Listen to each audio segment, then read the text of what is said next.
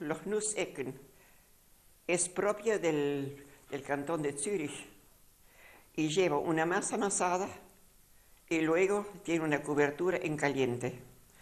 Lleva 105, se pone sobre la mesa 150 gramos de harina, 70 gramos de azúcar, una cucharadita de polvo de hornear, 50 gramos de manteca.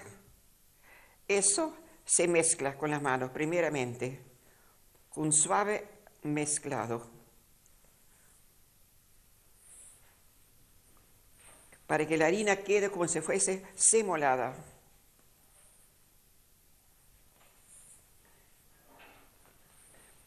Hay que trabajar con mucho cuidado para que no se aplaste. Por ejemplo, esa masa sirve muy bien para hacer galletitas.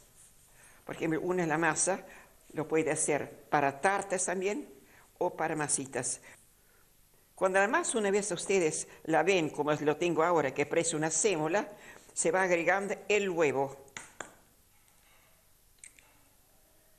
Depende del tamaño del huevo, a veces hay que agregar un poquitito de líquido. Puede ser leche o puede ser agua, pero depende del tamaño del huevo. Se empieza con dos dedos y se le, se le va haciendo como un, un batido. Nunca poner la mano entera.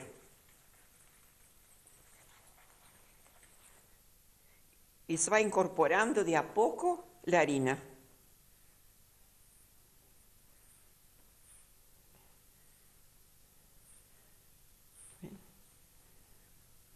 Por ejemplo, yo me doy cuenta aquí falta un poquitito de líquido, entonces yo le voy a agregar un poquitito, un chorrito de agua.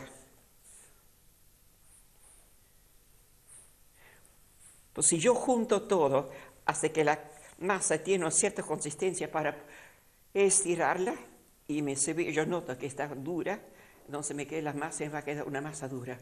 Y así que va a quedar una masa muy, muy liviana. Y con las dos manos, en vez de ser amasado, es un juntado. Como tengo un molde rectangular, se debe hacer un rollito. Una asadera redonda se hace un rollito, ese rectangular, un rollito. Se espolvorea con harina y con el palo de amasar se lo estira.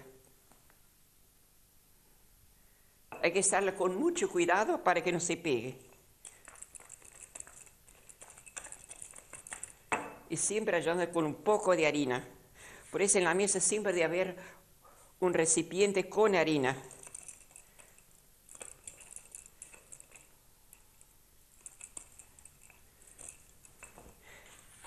Se pone un poquito la, con el molde, se mide sin apoyar para que no se ensucie y se sigue estirando. Ahora se doble en tres.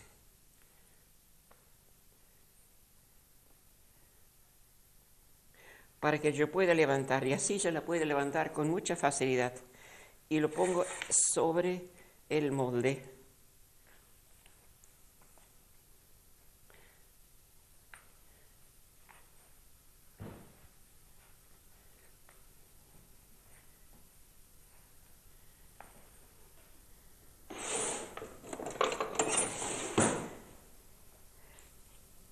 no tiene que tener orilla. Entonces, lo que sobra se, se corta y se acomoda.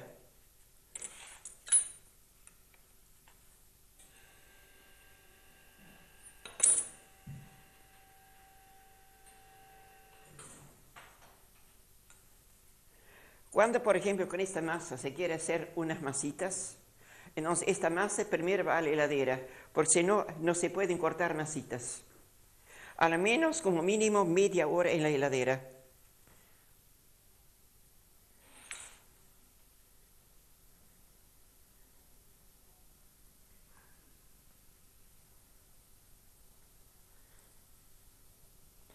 La masa hay que estirar bien, bien, bien pareja y queda una cosa así.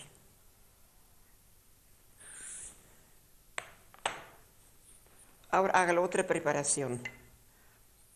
Ese primer va en caliente. Son 80 gramos de manteca, 80 gramos de azúcar y una cucharada de agua. Ese va al fuego.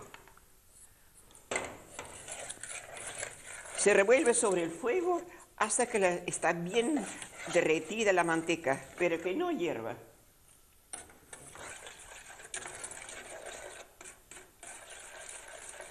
Porque al llegarse eso a hervir, toma un color de caramelo, entonces después se endurece, no se puede hacer la cobertura.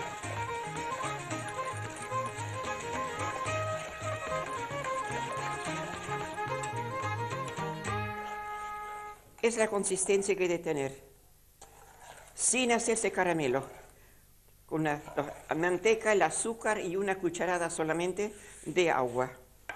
A esa preparación se agrega los 100 gramos de nueces molidas o ralladas, más.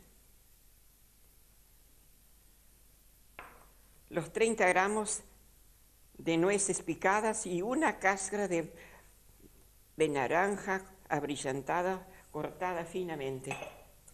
Y eso se mezcla.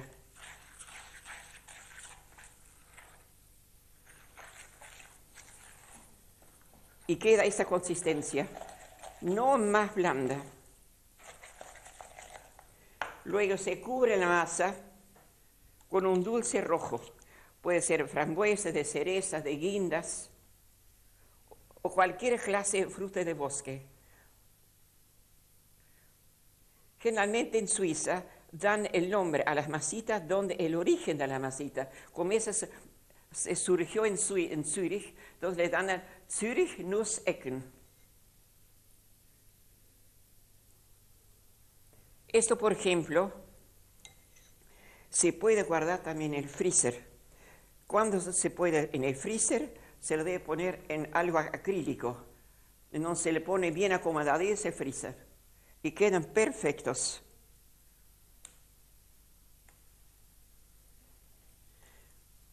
Cuando se llega a poner en el freezer, no hay que dejarlos enfriar del todo, sino que tienen que ser casi, casi tibios porque si no quedan bizcochados. Sobre esa dulce se va poniendo la preparación de las nueces. No en un montón, sino repartiendo.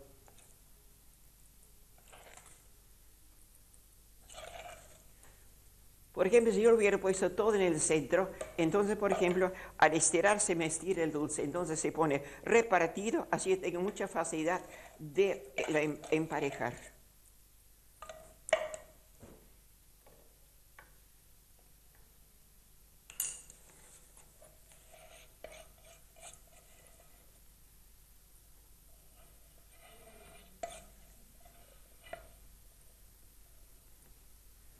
Por ejemplo, ese se puede guardar también en una lata y, guarda más o menos unas dos semanas, lo puede sin poner la heladera.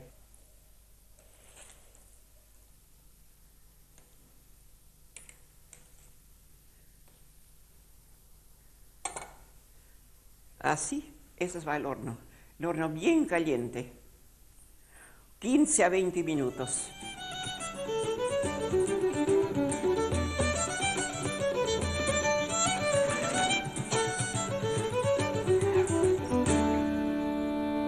A sacar la masa.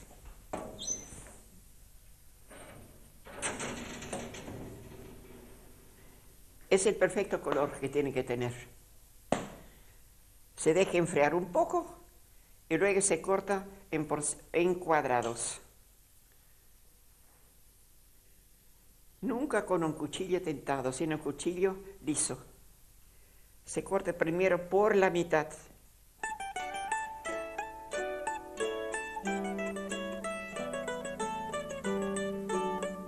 bien derechito.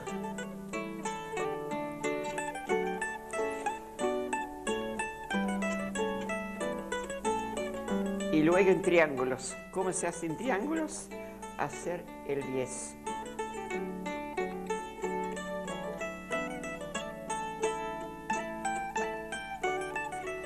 Hay que tener mucho cuidado al cortarlos.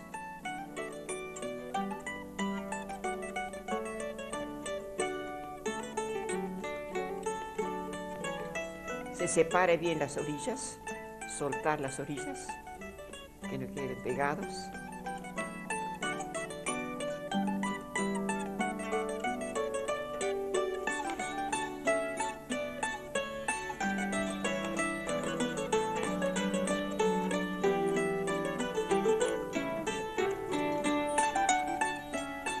También cuando uno acomoda, siempre hay que tener cuidado cómo uno va poniendo las cosas para que queden a la perfección. Cuando yo estuve en Suiza y fuimos a un bar para tomar un café, entonces ahí hicieron una bandeja, a lo menos de 50 centímetros de largo, por unos 40, lleno de masas. Entonces yo dije a la señorita que me acompañaba, dice, tanta cosa, dice, aquí es costumbre nuestra que cuando uno va a un, a un bar, a un restaurante, algo, pues decir una buena cantidad, que cada cual puede servirse lo que le agrada. No que uno tiene que comer todo, pero hay una variación, pero nada, nada de salado, todo dulce, de chocolate o cualquier, eran masitas, tortas, lo que uno quiere. Y después acompañado siempre con una jarrita de crema. Si usted lo quiere rociar con crema, lo puede rociar con crema. Esta es la jarrita de café o té. Una cosa muy importante, me, impactó eso, que, que en sí eh, poner todo en un, un plato lleno, que uno puede elegir las cosas que a uno le agrada.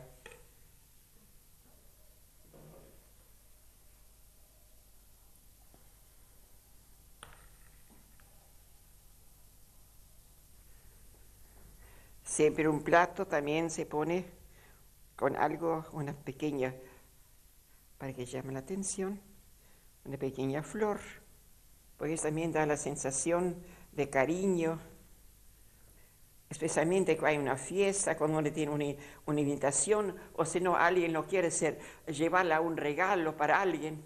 La próxima vez voy a hacer la demostración de masa de levadura, demostrando las distintas formas de trenzas y como aplicación práctica la trenza rusa.